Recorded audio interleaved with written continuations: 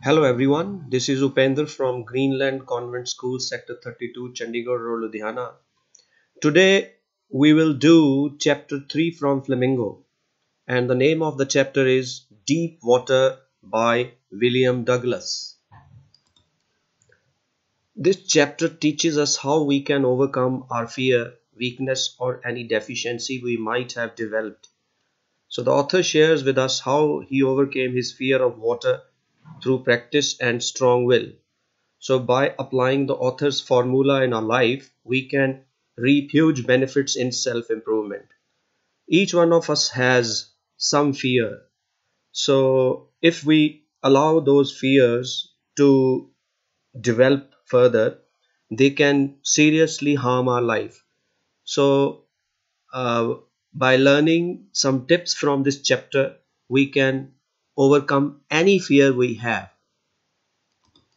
So before we proceed any further, let's know a little about the author.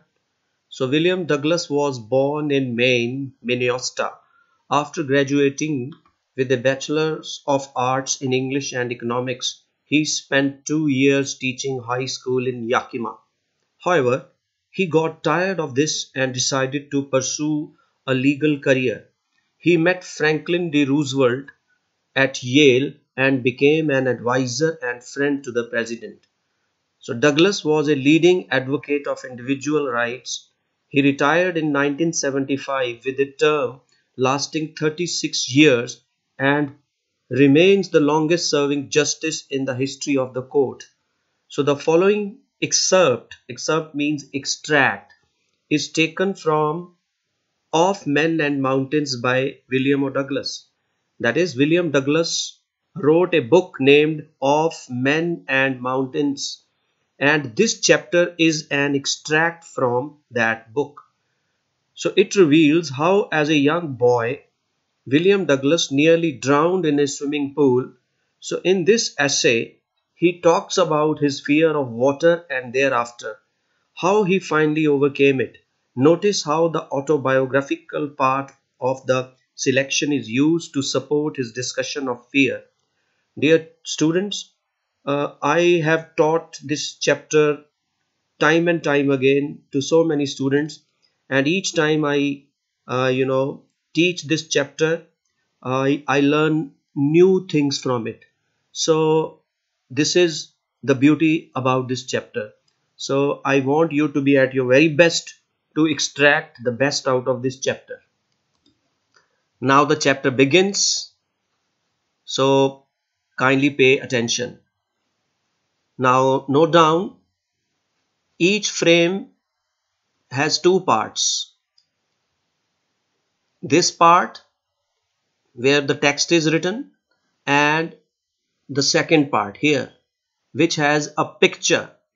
Uh, this picture will be giving you a bit of imagery, uh, an idea or the images that are created in the text. So I will be explaining the text. Uh, so let's start. All the best.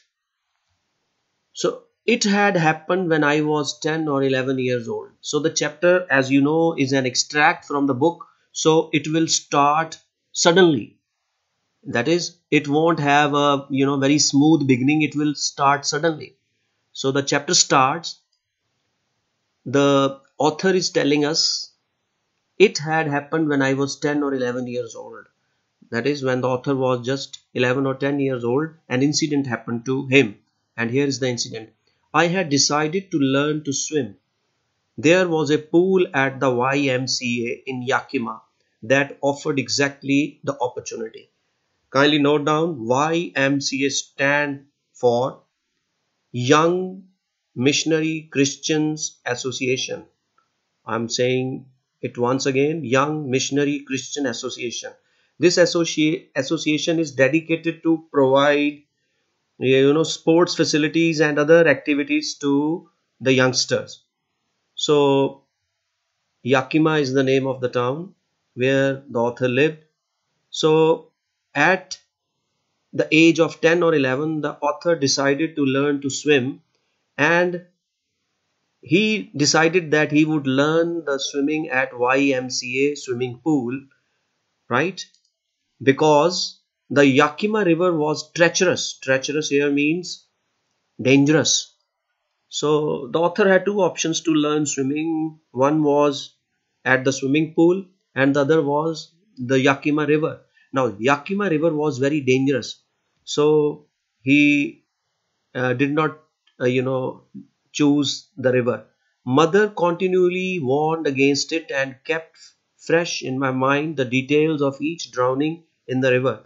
Besides, the author's mother also wanted him to learn the swimming at the YMCA pool because there had been repeated incidents of young children drowning in it. Those children who went to have a dip there, the, some of them drowned there. So the mother reminded the author uh, uh, of those incidents to discourage him to go to the river. But the YMCA pool was safe. It was only two or three feet deep at the shallow end. So here is a swimming pool, you know. Here is the shallow end. Shallow end is from where we enter and as we go further in the pool, uh, it becomes deeper and deeper. So the Yakima uh, you know sorry not yakima the swimming pool ymca pool uh, was 9 feet deep at the deep end. Uh, at the shallow end it was just 2 or 3 feet deep. Right? And while it was 9 feet deep at the other the drop was gradual. The drop means the slant of the floor of the pool i got a pair of water wings and went to the pool water wings means some swimming uh, accessories which we have to wear in order to learn swimming. So the author went to the swimming pool to learn swimming. I hated to walk naked into it and show my skinny legs. So this line tells that the author was quite skinny. Skinny means thin. So he did not want people to, you know, look at his uh, thin body. So, but still he had to learn the swimming. But I subdued my pride and did it. So, in spite of his thinness, the author decided to, you know, learn the swimming. Subdued means I suppressed my pride. So, from the beginning, however, I had an aversion to the water when I was in it. Now, in this line, the author tells us he had some hatred, aversion. Kindly note down the word aversion. Aversion means hatred hate, dislike. So the author had dislike against the water.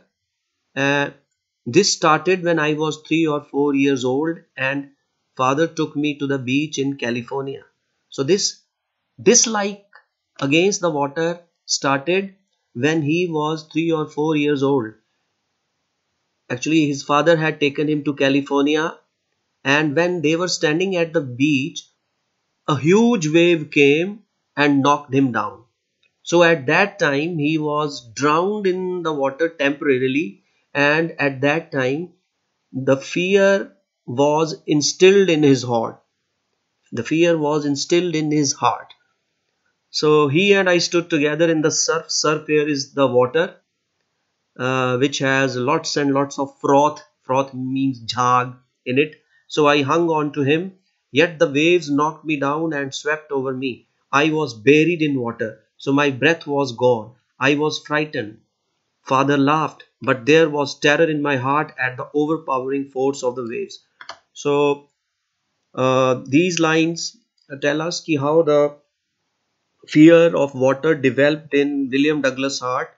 Actually, it developed when he was three or four years old at the beach.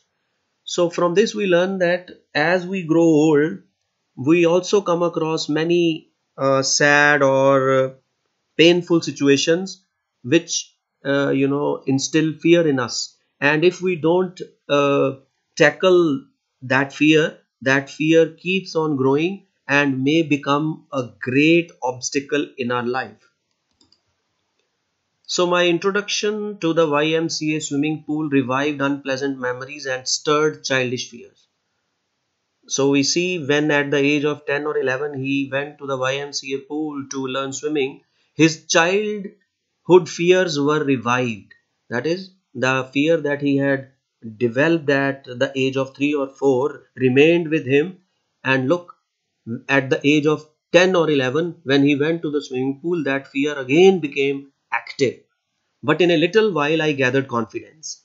But he, author got confidence. I paddled with my new water wings, watching the other boys and trying to learn by aping them. So after he joined the YMCA pool, the instructor there made him practice and uh, as he practiced, he started gaining confidence. I did this two or three times on different days and was just beginning to feel at ease in the water when the misadventure happened. So he had, uh, you know, hardly gone to the swimming pool for three days and practiced and started feeling confident when something again bad happened, something negative happened. Misadventure here is an accident happened. So now the author will be sharing with us what that accident was. I went to the pool when no one else was there. I have already told you he didn't like being seen because of his thinness, because of his skinny uh, body. So he had the habit of going to the pool uh, before anyone else came there. So he was alone at the pool. The place was quiet, the water was still, and the tiled bottom was as white and clean as a bathtub. I was timid. Timid here means uh, fearful about going in alone. Since uh, the author had not learned the swimming completely, so he was afraid of going into the pool alone. So I sat on the side of the pool to wait for others. So the author started uh, waiting for others to come. Uh, I had not been there long when in came a big bruiser of a boy. So the author had been sitting at the edge of the pool. You can see here image like this. See, it is just uh, uh, a, you know uh, a picture that give you an idea, not the exact picture of the author. So you see here is a swimming pool and a boy sitting here alone, right? So when he was sitting like this, a big bruiser of a boy, that is a big uh, muscular type boy came and he was probably 18 years old. He had thick hair on his chest and he was a beautiful physical specimen with legs and arms that showed rippling muscles. So that boy was, I have already told you, quite a muscular body. And as he saw the author sitting alone, he yelled. He yelled. Yelled means screamed at him. Hi, Skinny. How would you like to be ducked? That is, the, the 18 year old boy, that muscular boy, said to the author, I will throw you into the pool and let's see how you feel. Now you must be wondering why he decided to throw the author into the pool. Let me tell you, uh, youngsters you know indulge in lots of mischiefs uh, without knowing their consequences. So he also must have felt uh, you know uh, an urge to do the mischief. So he decided to throw the author into the pool. So he not only said it to the author with that he picked me up and tossed me into the deep end.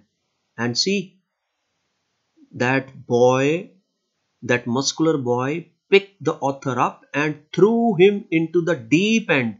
You know what is deep end? Deep end means where the pool was 9 feet deep.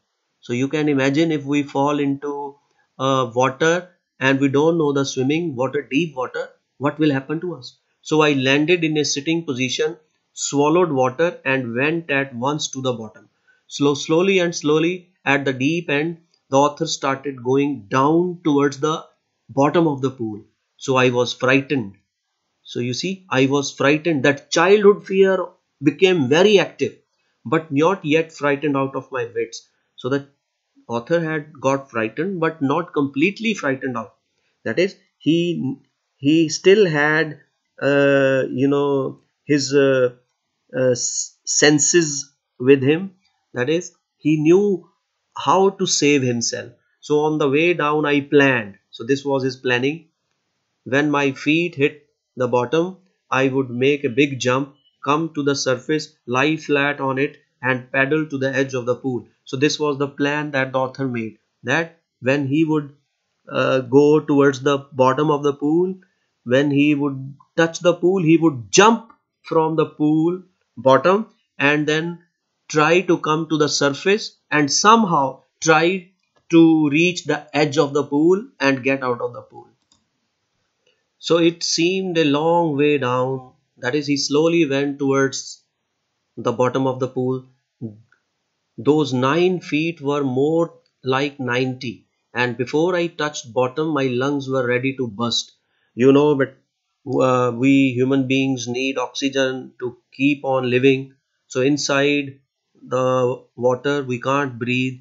So his lungs he felt his lungs would burst but when my feet hit bottom i summoned. Summoned means i collected all my strength and made what i thought was a great spring upward. So as soon as the author touched the bottom of the pool he jumped. But it was not an efficient jump. You know uh, in water we can't jump.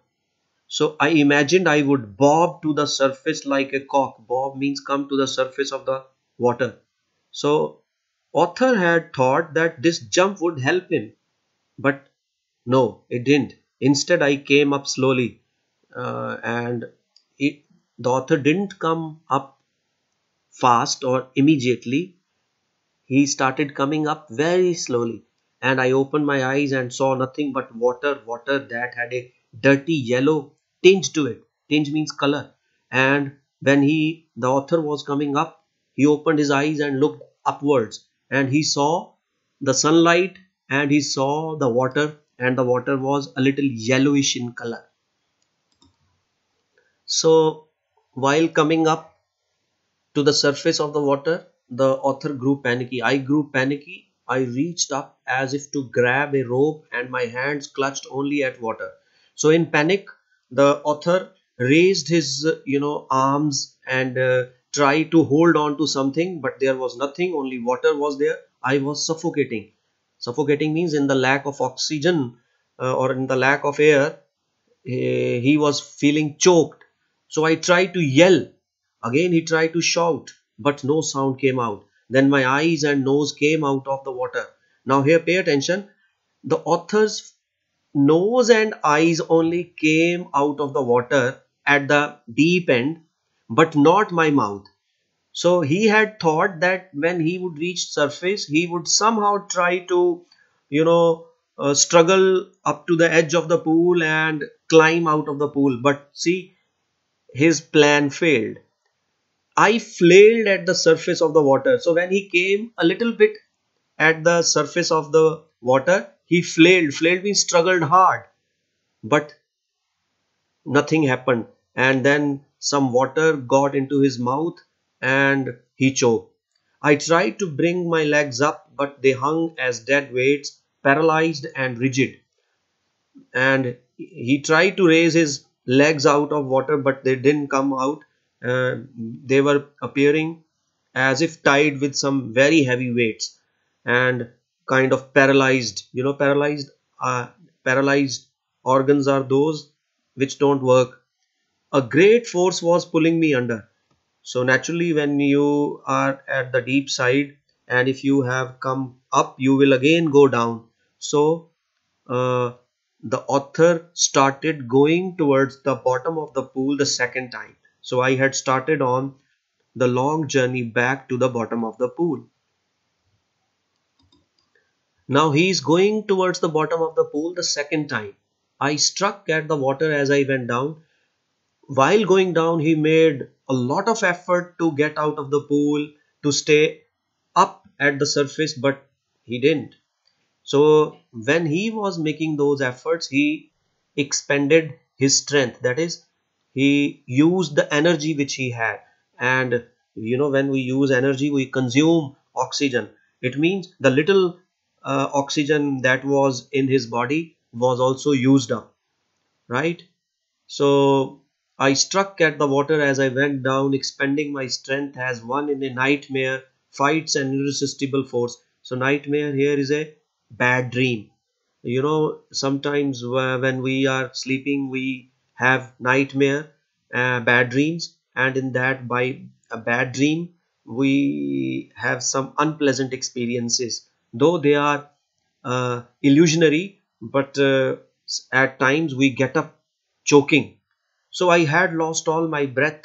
My lungs ached, that is, his lungs were in pain. My head throbbed.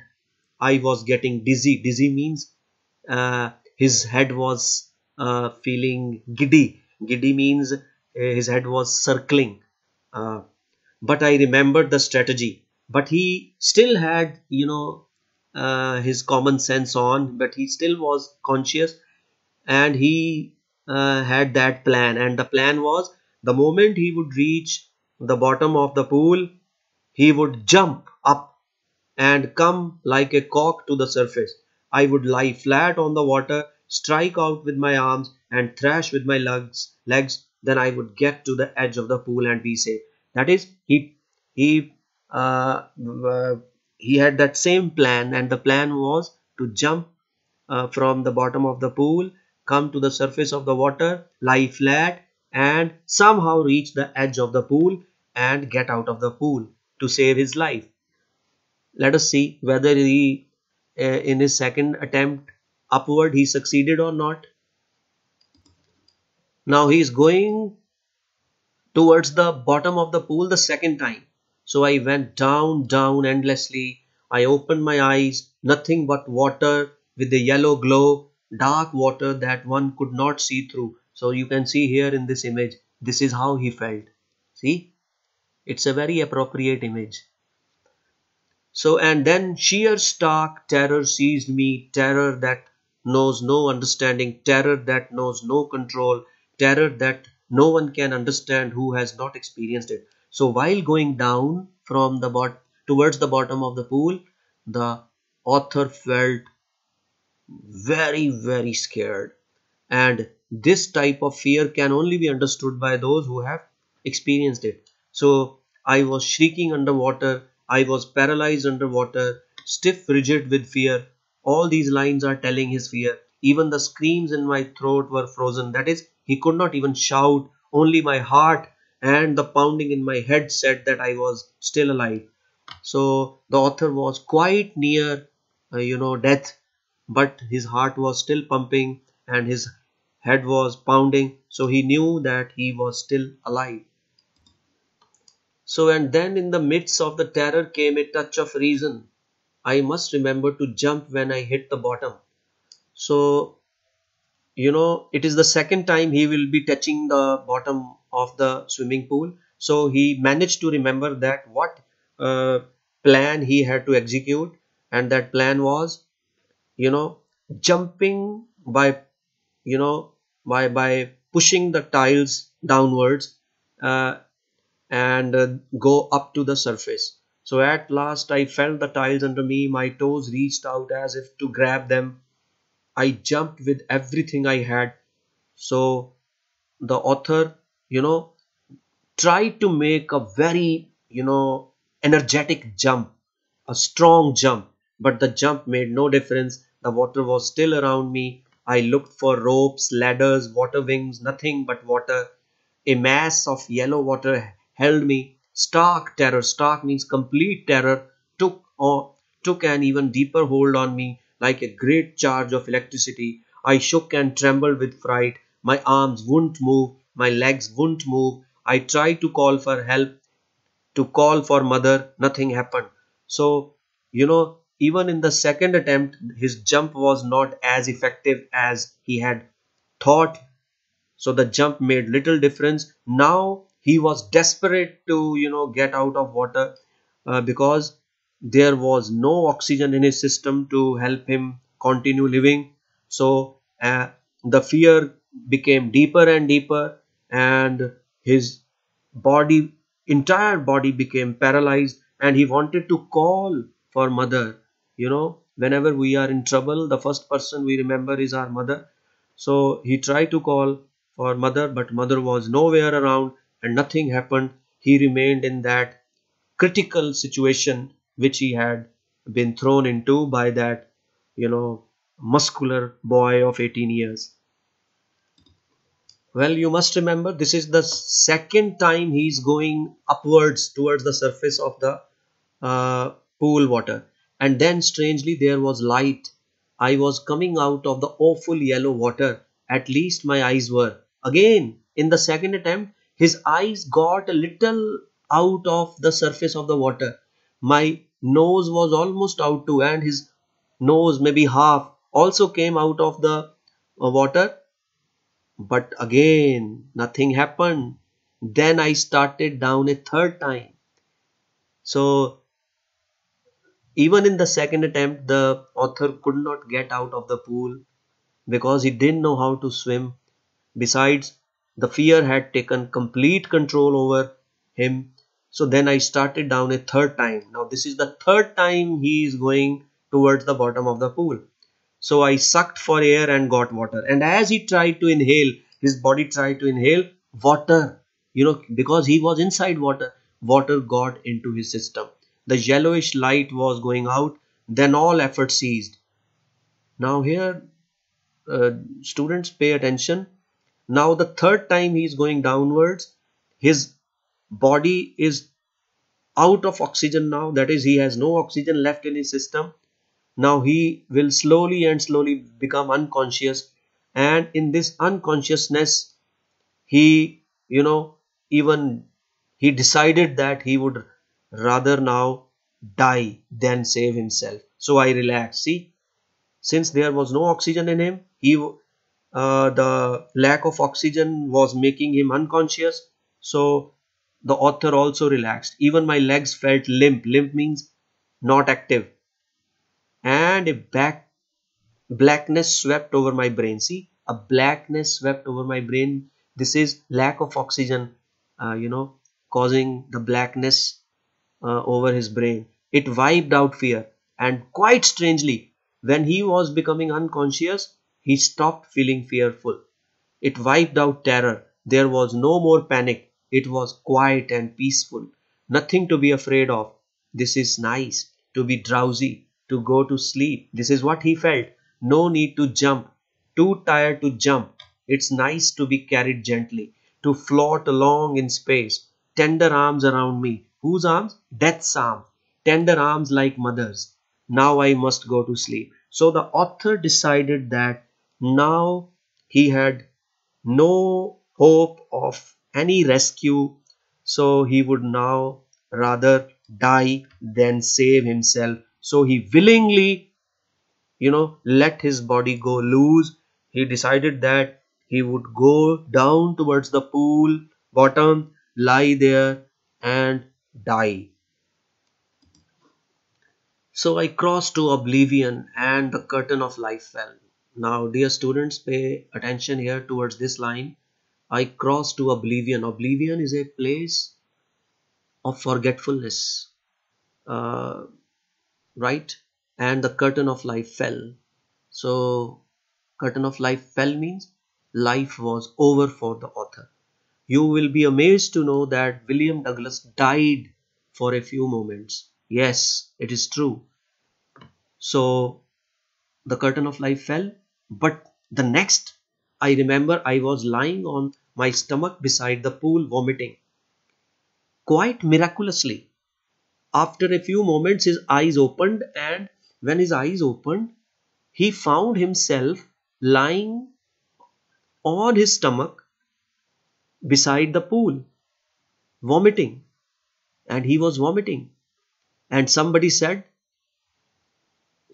The chap that threw me in was saying, see, rather the chap means that muscular boy who had thrown Douglas into the water you see what did he say? But I was only fooling. Means I was only having fun. I uh, that muscular boy said that I was only having fun with Douglas. Someone said, and there were some other people at the pool now, and one of them said, The kid nearly died. Be all right now. Let's carry him to the locker room. So uh, they decided to carry him to the locker room and there he changed that is he changed his clothes uh, he put on his uh, casual clothes several hours later i walked home. And after that he went home. I was weak and trembling. And when he was going towards home he was feeling so weak and trembling. I shook and cried when i lay on my bed. And he reached home and he went to bed. He lay there uh, uh, and uh, you know he started crying because his fear had made him feel so weak and uh, miserable. I couldn't eat that night. For days a haunting fear was in my heart. The slightest exertion upset me making me wobbly in the knees and sick to the stomach. Now here wobbly means weak and uh, haunting means uh, fear that keeps us chasing. So even after that after so many days of that incident the author didn't feel good at all he kept feeling fearful he kept feeling scared he kept remembering that uh, you know incident that had happened at the um, yakima swimming sorry not yakima ymca swimming pool and wobbly means he felt weak at the knees that is he didn't like being alive. I never went back to the pool.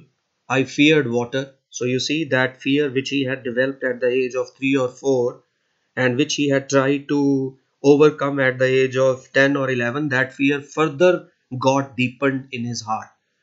Now if now he grew up with that fear.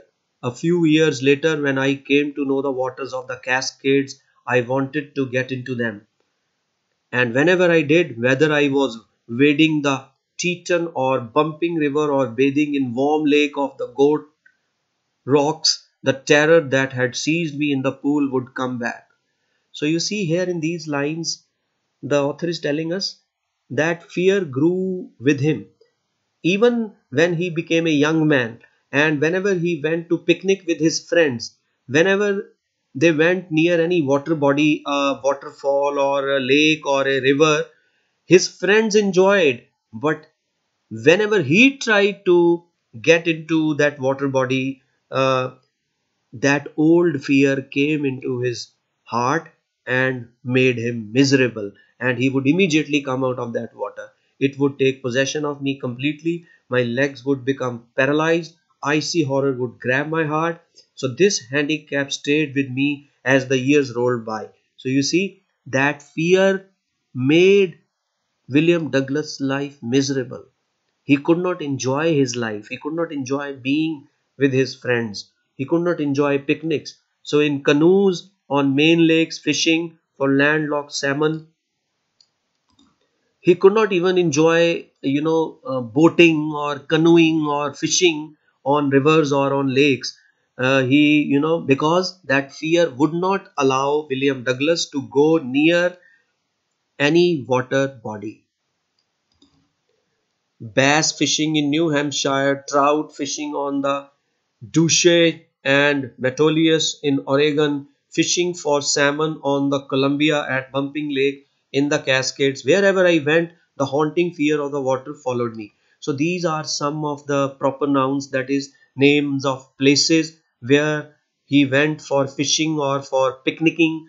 Uh, uh, so wherever he went, that fear followed him, and that fear ruined my fishing trip. See, the author is mentioning it ruined my fishing trips, deprived me of the joy of canoeing. Canoeing means uh, boating, boating and swimming. So you see the effects of uh, not overcoming our fears, they make our lives miserable. So if we have any fear, they make our life hell. So it is always wise to overcome one's fear. Now the beauty of this chapter lies in the section from now onwards. Now here we'll see him you know making all efforts to overcome his fears. So i used every way i knew to overcome this fear but it held me firmly in its grip. Finally one october i decided to get an instructor and learn to swim. See so the author you know was very sad very unhappy and he was very uh, you know uh, miserable. And he decided that he must overcome his fear. So finally one october he decided to get an instructor and learn to swim. I went to a pool and practiced 5 days a week an hour each day. So you see he took the right step. So the fears can only be overcome if we you know make some strategy to overcome them. Otherwise they will never ever be overcome. They will uh, make us further weaker uh, more unconfident and more miserable. So the instructor put a belt around me. So it was a you know uh, special experience for him. He confided everything to his instructor and the instructor made a special strategy. The instructor put a belt around me a rope attached to the belt went through a pulley that ran on an overhead cable. He held on to the end of the rope and we went, went back and forth. Back and forth means uh, uh, means forward and backward. Uh, back and forth across the pool hour after hour day after day week after week. So the instructor made a special you know equipment for uh, william douglas to train him swimming. Uh, he put a belt around his waist and the belt was attached to a rope uh, that you know uh, was fixed above the uh, or over the pool and William Douglas practiced regularly every day, every hour, and week after week. On each trip across the pool, a bit of the panic seized me. And as he, you know, uh, attached to that uh, rope through the belt, went uh, back and forth in the swimming pool, the old fear tried to grip him. But um, since there was the belt attached to the rope, which kept him afloat, uh, that helped him, uh, you know, stay calm and normal. And he kept on practicing this way for many, many days.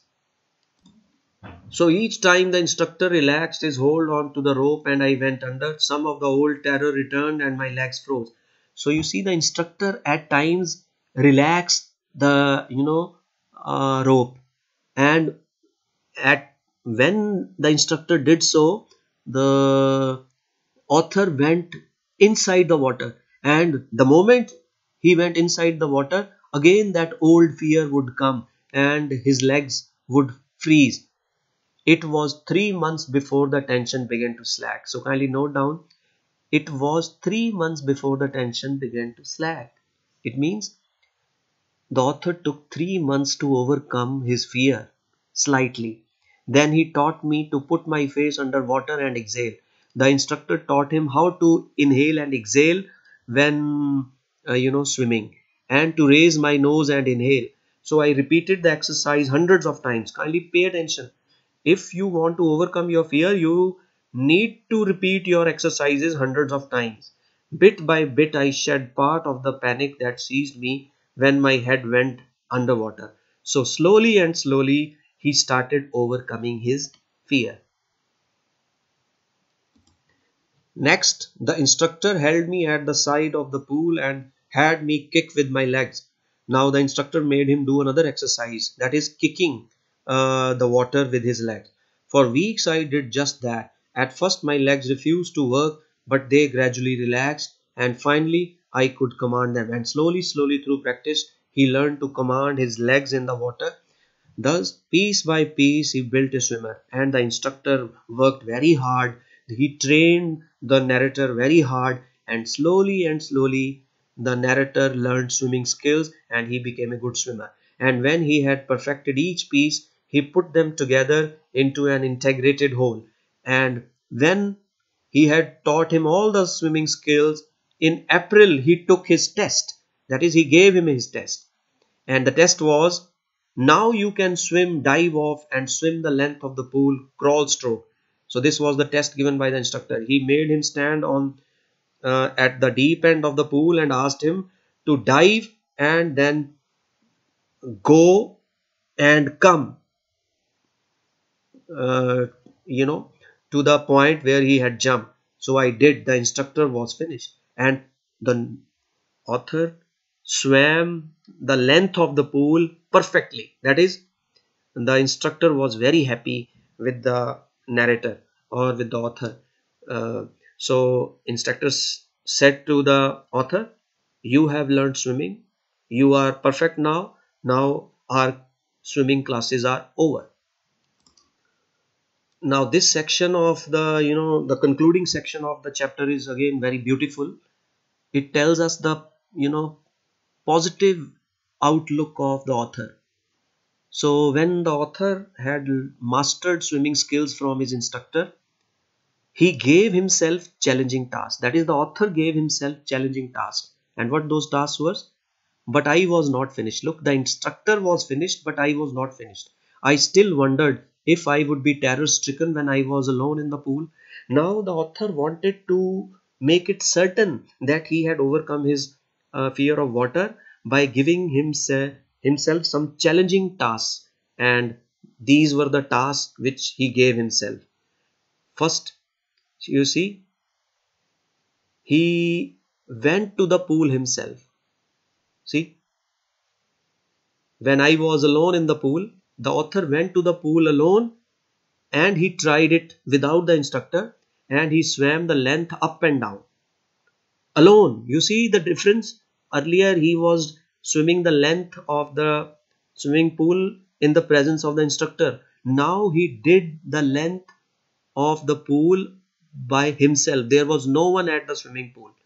And when he was doing so, tiny vestiges, vestiges means tiny signs or tiny you can say uh, marks of the old terror would return. But now i could frown and say to that terror trying to scare me hey well here is to you. Look.